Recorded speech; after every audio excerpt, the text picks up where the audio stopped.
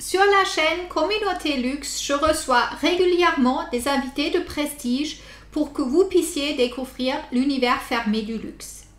Et quelles sont les ouvertures possibles pour vous? J'ai invité l'italien Antonio Romano de Hot Lab, qui conçoit des super avec une nouvelle approche. Il appelle ceci l'architecture pour les voyageurs.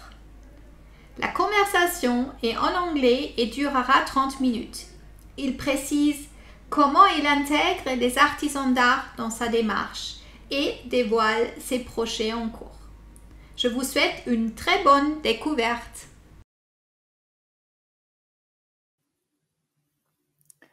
Buongiorno, Antonio. Uh, good morning, Antonio. So I'm really happy to have you with us tomorrow, uh, this morning.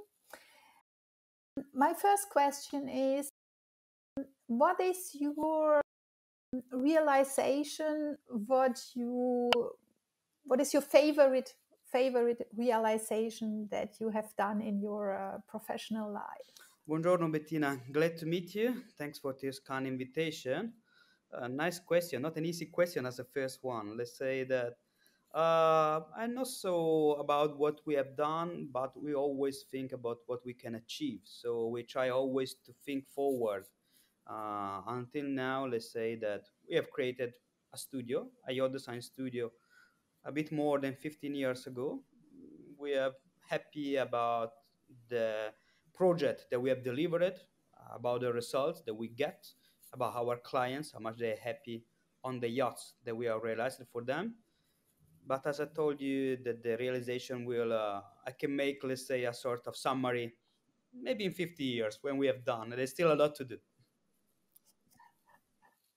And and uh, in so you you you you could you just uh, make an example of, of one realization that you you did re- did recently?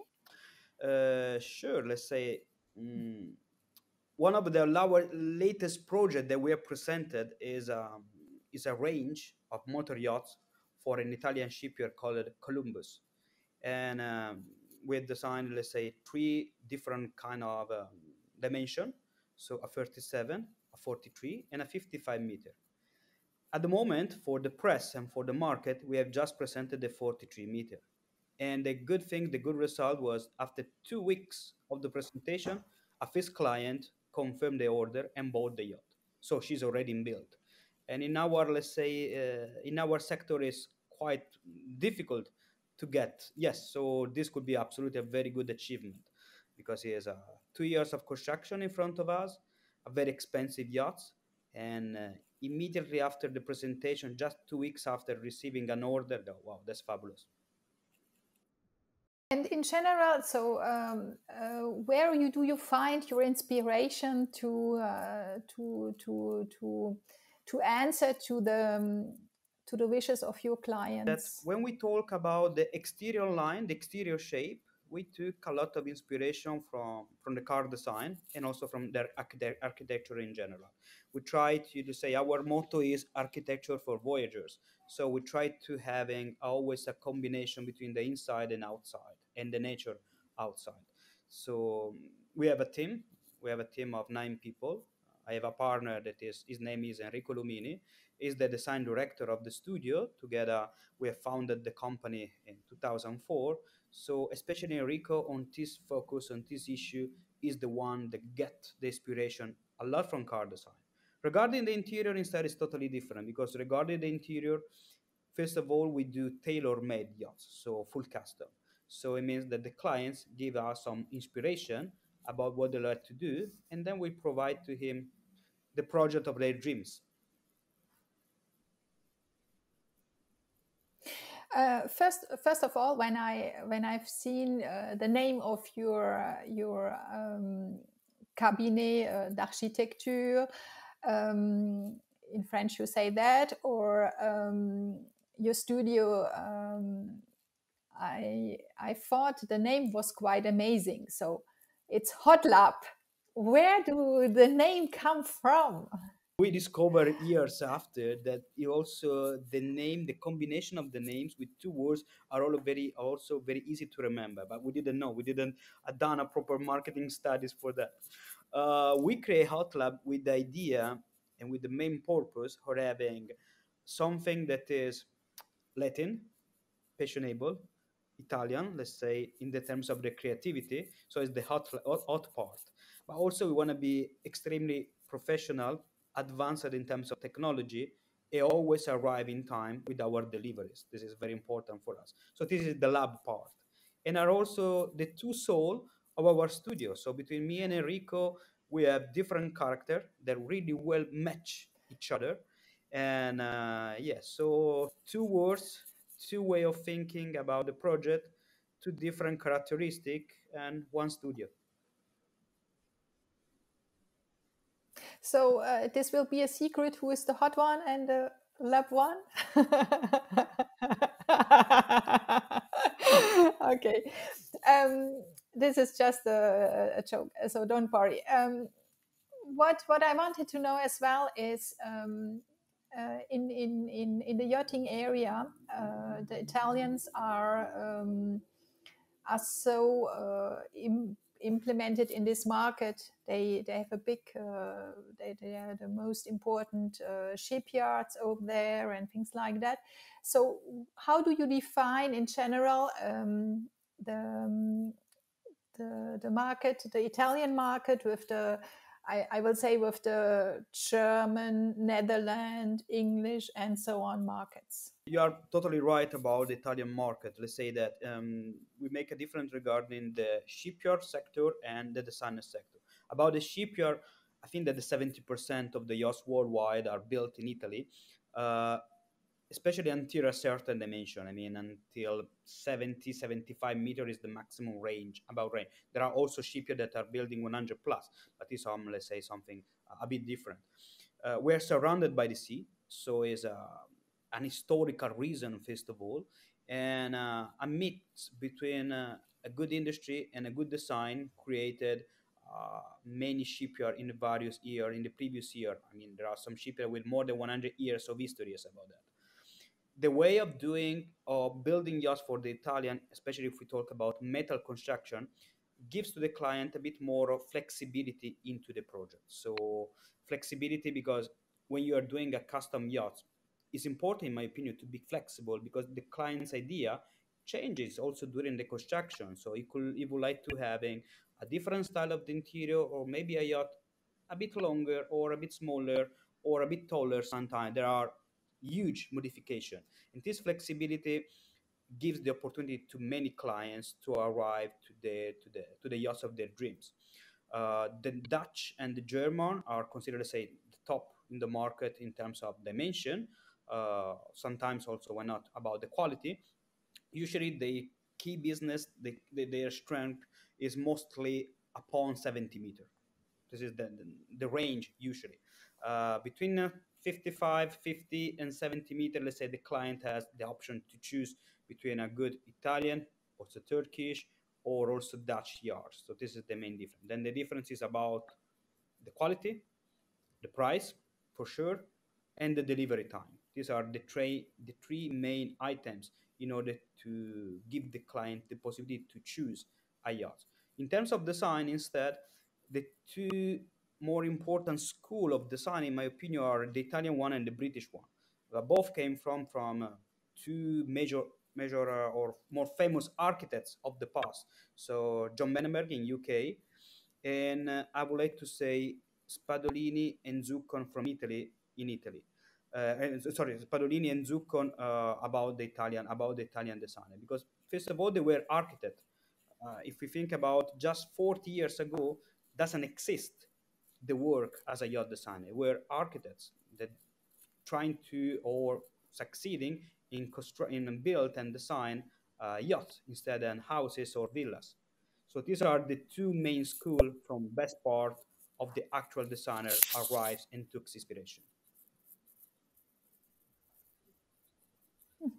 In the last years, so um, the, there is a new part on a yacht, which is uh, the outdoor space, which is much more and more important.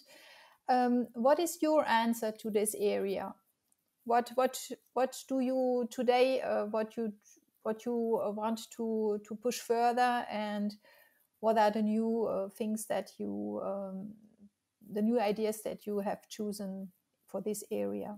They, the the yacht owner are becoming uh, younger and younger. There are we receive requests also for yacht owner under 40 years old. And the idea of using the yacht is totally different in comparison of just 20 years ago. Let's say there, there is no more so many clients that want to make long cruises, but are more, let's say, touch and go cruises. So maybe for a long weekend or for a week in the summertime. And during this period, also ourselves, we prefer to stay outside, so to leave the outside spaces.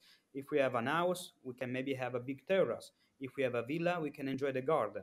On the yacht is something similar. Instead, instead of using, still using, of my instead of enjoying so much the internal area with air conditioning uh, and with, of course, the boundaries given by by the structure of the yacht, the yacht owner young and not young prefer to enjoy the outside space. Maybe with uh, a roof upon them or maybe with some sliding glasses in order to be protected by the wind but to stay outside.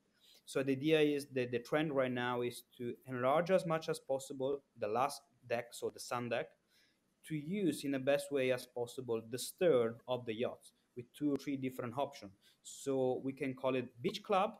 So when the stern is totally closed but then is with some fold- foldable wings or uh, opening part you can enjoy and stay outside.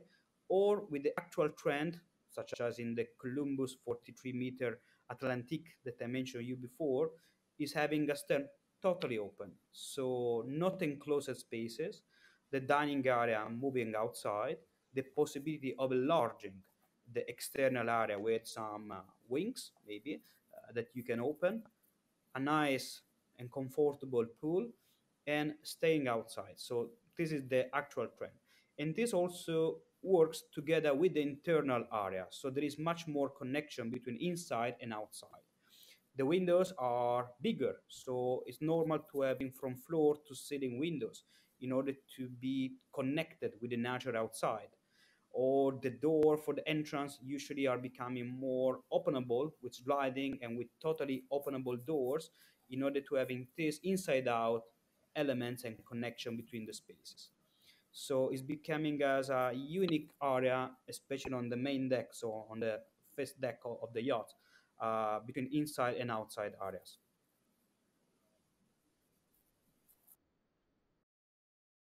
when you uh, when you speak um, when when you started in your in your business um, at the beginning where you you for example so when you when you were a child you said okay i want to be an architect. I want to be a yacht designer. I want to be what?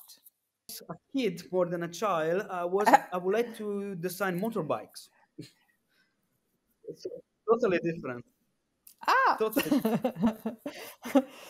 so and, and and and how it came that you have chosen this area? About with the friends about these stories. So the idea was, you know, during high school time, uh, I was not, let's say, the perfect student, a good student, but not the best student. So I used a lot of time drawing motorbikes, making profile of sports motorbikes. So around 16 years old or 17, I don't remember now, but I sent this drawing to a company in the north of Italy, very well known for the production of motorbikes. And this company, the general manager, was so kind to reply me regarding uh, giving some comments about my drawing. So it was positive comments, but he also told me, okay, you are just 17. Maybe you shall do a college, do a university, study something. So he suggested me to uh, to take a course about industrial design. And this is what I've done. I've taken an industrial design course in Rome, in the architectural, let's say, University of Rome.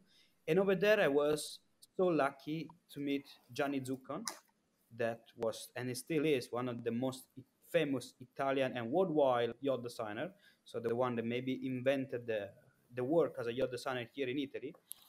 And together with him, let's say we have done the first uh, concept was to design uh, a wheelhouse or yeah a driving position a wheelhouse of a, of a motorboat together we went to visit together with the classroom i mean uh, we went to visit the ferretti shipyard and for me was the first time to see a boat in my life so i was so well impressed about this mix of design architecture technology and was totally in love with that totally in love with that and after years let's say i was so happy and lucky to start this as a proper working career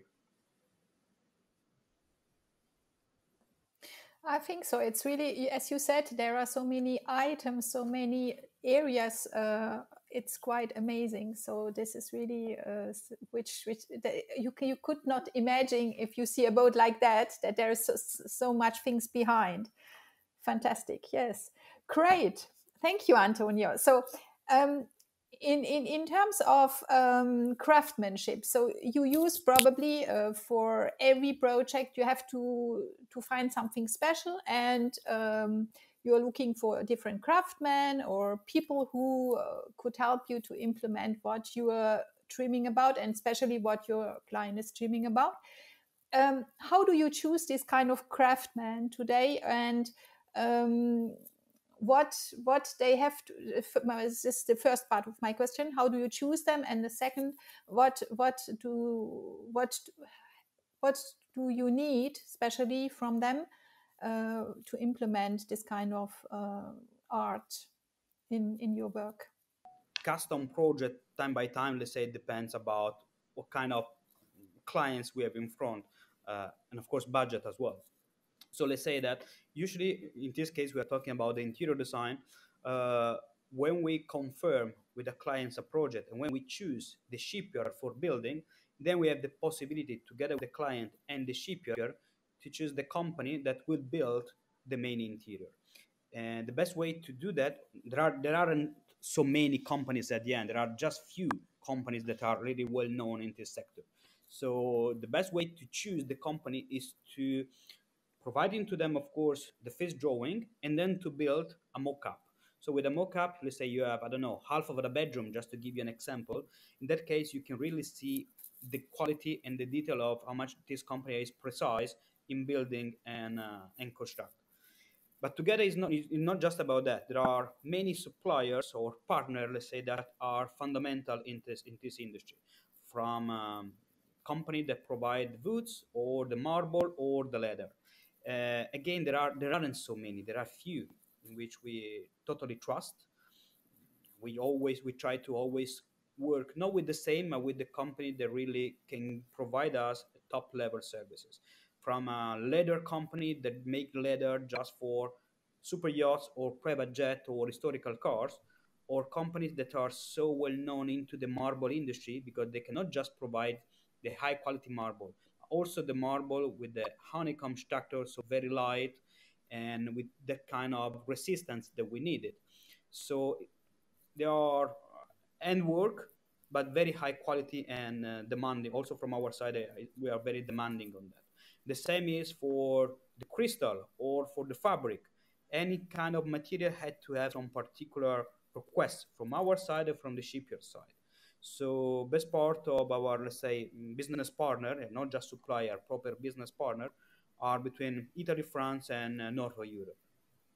And we try always to collaborate with them. First of all, also because they can provide easily some uh, samples or to reply quicker and easily to some uh, request from our side or from client side. Uh, in one yacht, for example, we have done uh, an entire atrium of a staircase with this suede leather. We were designing an end drawing with some jellyfish, and this end drawing was done with laser.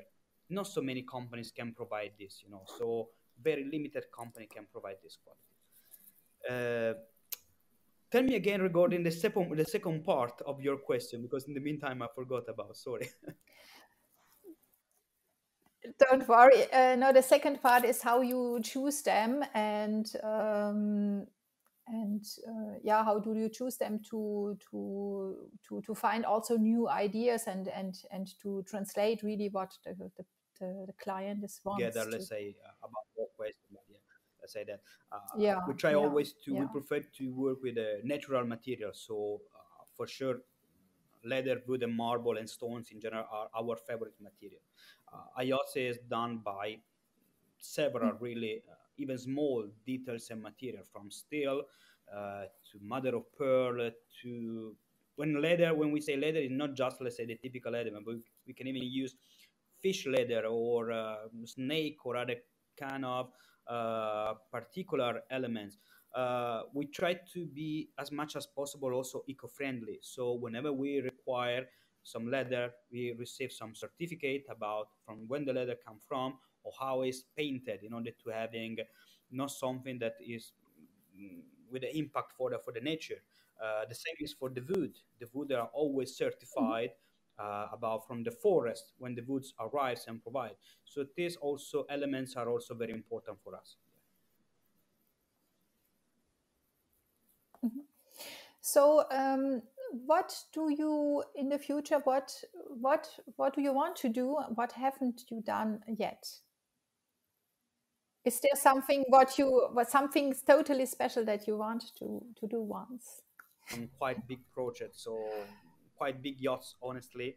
And so, um, finger crossed, let's say, we hope to see a couple of these vessels ready for 2023 and to present them in the Monaco Show. This is the, the first target. The second target that we have is to enlarge Hot Lab, and we have the idea to some cooperation in order to having maybe other, let's say, offices, not just in Milano. So this is another uh, target that we have in mind. And the third is not working exclusively, exclusively into the yachting sector, but also in the small hotel versus small resort sector. We have done just one uh, in the north of Turkey. It's still not open yet, but the result, we are very proud about the final result. So uh, we have done this boutique hotel with 12 suites, uh, also with a, with a wine yard, fabulous, really nice place for retreat. And we have done this because the, the, the owner is also one of our clients about the yachting sector. So he, he contacted again the studio for in order to, to provide him an hand for designing this boutique hotel. So the results is so beautiful in our opinion. They say, okay, why not? We could maybe also presenting Hot Lab also for this sector. So and uh, it's important sometimes to to to do something a bit different from what you do daily in order to get new inspiration, new ideas, and to um, you know again to get new ideas and new uh, mood that maybe you can then transform and translate into the yachting project. Really nice. So, uh, first of all, I hope that we see uh, each other on, on the Monaco Yacht Show for sure. Um, and and also, what I uh, wanted to ask you, uh, just my last question before I leave you go, is is what is your what is still your passion? It is still motorbikes, or is there something else? Did even not bought a motorbike. I just bought a, a small Vespa, and uh, was enough for me. And even though I don't have even the time to for really enjoying. Let's say that with this work, I travel quite a lot, so not so much time for enjoying a proper motorbike. Uh, but after that, I was so lucky to spend a first summer on board uh, of a yacht of uh, one of our clients. There isn't, there aren't other, uh, let's say, holidays better than that. So it's a drug.